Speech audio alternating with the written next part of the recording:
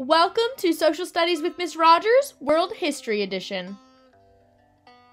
The idea of nations creating colonies in other lands is not a new idea to us.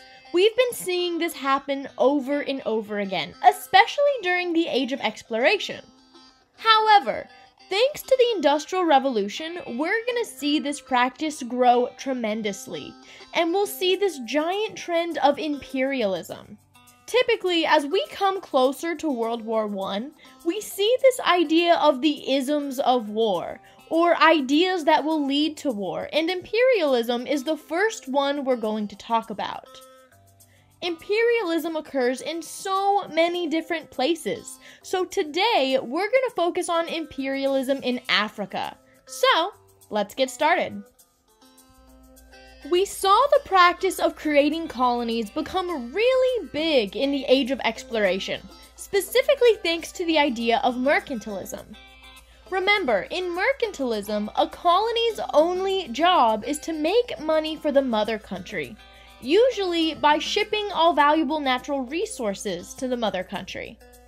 The Industrial Revolution amplifies this mercantilist goal tremendously because now that nations are not only able to make goods at a quicker pace, but they need resources in order to power their machines.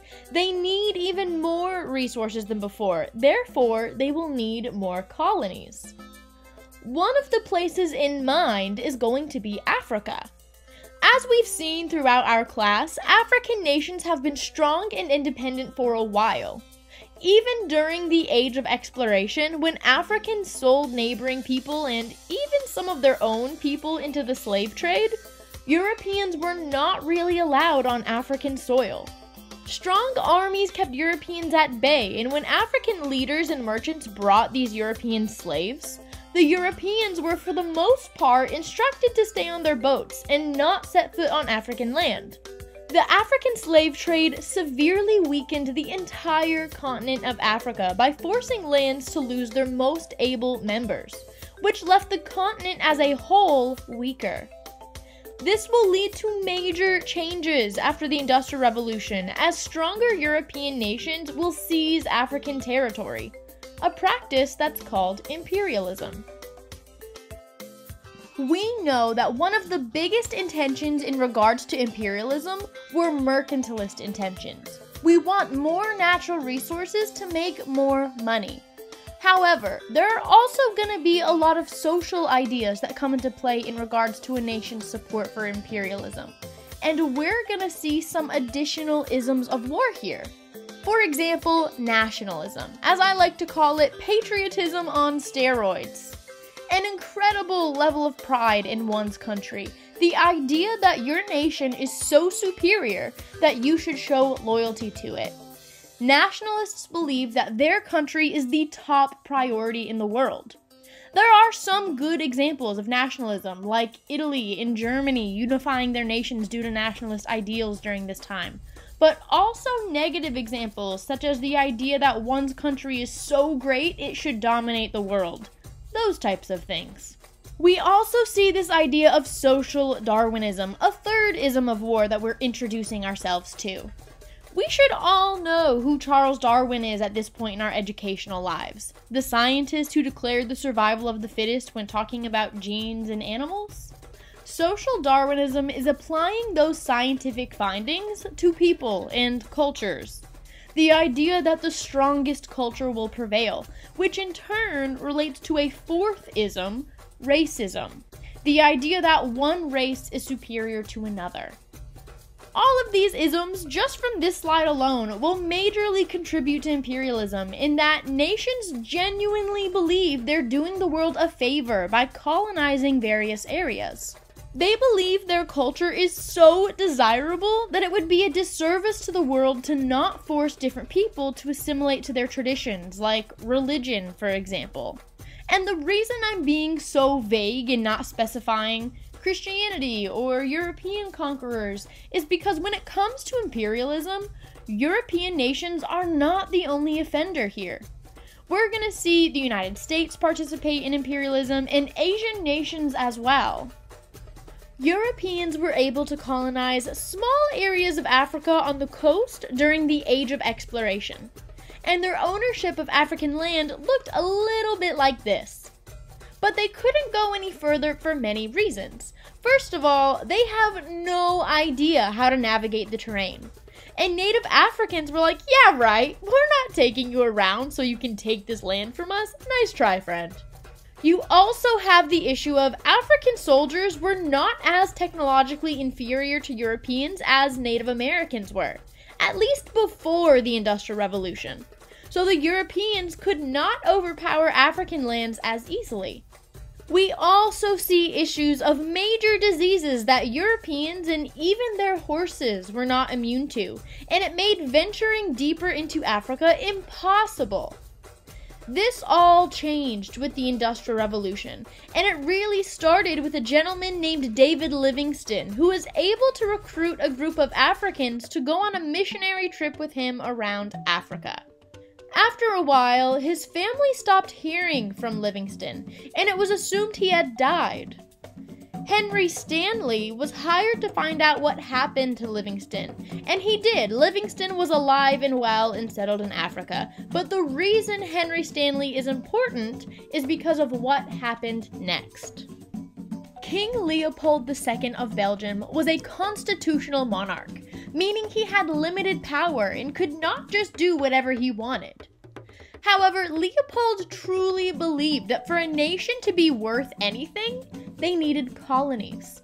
The rest of his government did not agree with this idea, so Leopold disguised his desire for colonies with the public promise of ending the African slave trade and spreading Christianity across the land. Leopold heard of Stanley's adventures in Africa and hired him to survey African land since he'd already been around the continent. Because of Leopold's guise of trying to help, many African chiefs were willing to make treaties with him through Stanley. These chiefs gave Leopold permission to control the land in hopes that he would help them to end the slave trade. In reality, think of these chiefs giving Leopold permission to control these lands kind of like how Columbus received permission from the Taino natives. They didn't really know what was being said to them, nor did they know how to read the language of the treaties. They were just given a piece of paper and told, hey, this guy's gonna help you, just sign here. The treaty was really for the benefit of the Belgium government so that it looked like a legit treaty and Leopold didn't get in trouble. Once Leopold had control, he forced African people to collect natural resources such as tree sap from rubber plants to contribute to the growing demand for bicycles and automobiles in Europe. The African people were given very strict quotas, and if these quotas were not met, they were whipped, beaten, and even had their hands cut off. Some who refused to work were even killed. To ensure that these soldiers were not just wasting bullets, the soldiers were required to present their superiors with human hands. One human hand for every bullet that was missing to prove they used it on the Africans who were slacking or refusing to work. It's estimated that about 10 million natives from the Congo died under this rule. And once it became public knowledge, there was an international outcry of how unacceptable this type of behavior was. The Belgium government forced King Leopold to give up control of the Congo, but it was too late. The idea of using African land as colonies for natural resources became too enticing and so many different nations were already claiming parts of the African continent, an event that is typically referred to as the Scramble for Africa. By this point in history, it became clear that venturing into Africa was possible. We have numerous technological advancements thanks to the Industrial Revolution, like more machine guns, such as the Maxim machine gun, or the steam engine to help with navigation, and also gets rid of the issue of horses getting ill while on the voyage. Europeans just now have an easier time getting through the interior of Africa, which was previously deemed impossible. Europeans also seem to have the means to control their empires in Africa. Not only are steam engines making it possible to explore Africa, but making it possible to quickly travel and communicate around Africa. We will also see railroads and cables being built to help maintain the idea of easy access and control over the land. Finally, we see medicinal advances, like medicines that help with the disease issues we talked about a little bit earlier. And there was not much that the African continent could do about it. Sure, as a whole continent, the African people outnumbered the Europeans, but without unifying the different tribes, kingdoms, and nations within Africa, the native people didn't stand a chance against the monstrous technological superiority. The competition for land in Africa became so severe amongst the European nations that leaders feared the competition would lead to something crazy, like a world war or something insane like that. Haha, crazy. So, European leaders called the Berlin Conference to settle the dispute of who gets what part of Africa. One of the major issues with the Berlin Conference is that the leaders around the world who were involved treated Africa like the entire land was up for grabs. No African people or even African leaders were invited to the Berlin Conference, nor were they consulted or even treated like they had any business in what was going on. Also, while splitting up African land, international leaders didn't even consider the borders already in place in Africa. We have so many cultures and ethnic groups across the entire continent, but the lines that were drawn at the Berlin Conference ignored tribal lines and kingdom boundaries. The map of Africa quickly went from this to this, all for the purpose of collecting valuable natural resources.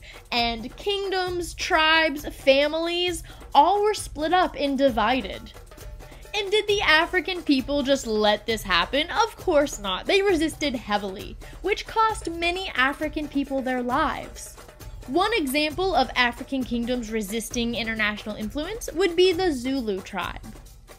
The Zulu had an incredibly strong leader named Shaka, who specialized in conquest and unified his own lands. He perfected the fighting strategy and tactics of the Zulu people to the point that when the British invaders came to collect what they believed was their territory, Shaka and his Zulu people were able to fight off the British even with their inferior weapons. Unfortunately, after Shaka passed, his successors were not able to keep the lands unified. And as the Zulu became divided, the British were able to conquer the lands in southern Africa. Though England was not the only European nation that southern parts of Africa was claimed by. Some of the original settlers of the coast of southern Africa were the Dutch. These settlers were called Boers, the Dutch word for farmers. They were also known as Afrikaners.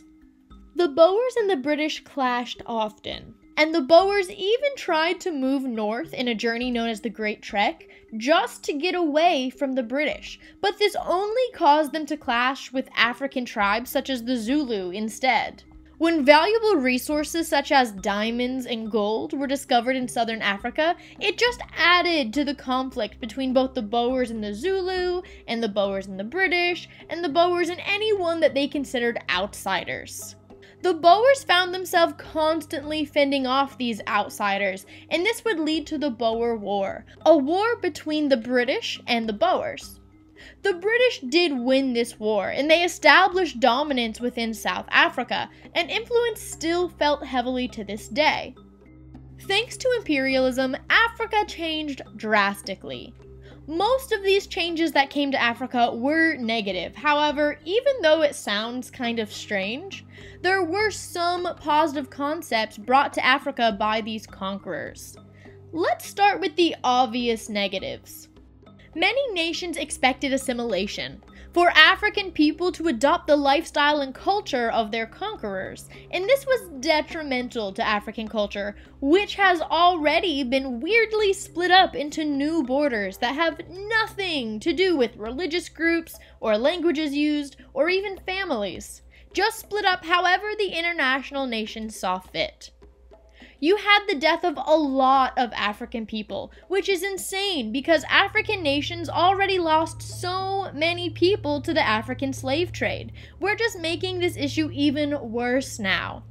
When you look at how strong Africa was just a couple of units ago and see where we are now, it's just unreal how drastically different this entire continent has become in terms of strength and power.